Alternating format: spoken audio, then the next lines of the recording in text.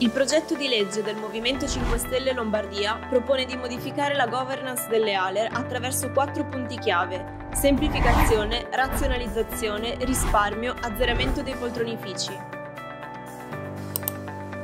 La legge regionale numero 16 del 2016 ha eliminato una ALER per provincia accorpandole in 5, il Movimento 5 Stelle propone di semplificare ulteriormente il sistema istituendo una sola Aler Lombarda con tre direzioni, Nord, Milano e Sud.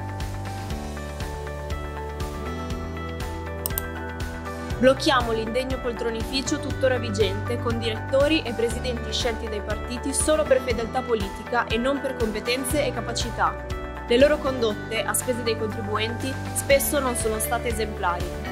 Esisterà dunque un solo presidente e un solo direttore generale, al posto dei dieci attuali.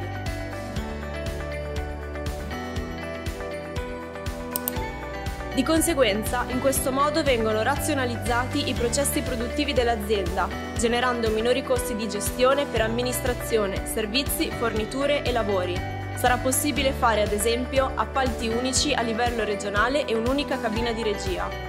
In cinque anni sarebbe assicurato un risparmio di oltre 4 milioni di euro da utilizzare per affrontare l'emergenza abitativa e per migliorare la qualità di vita degli inquilini.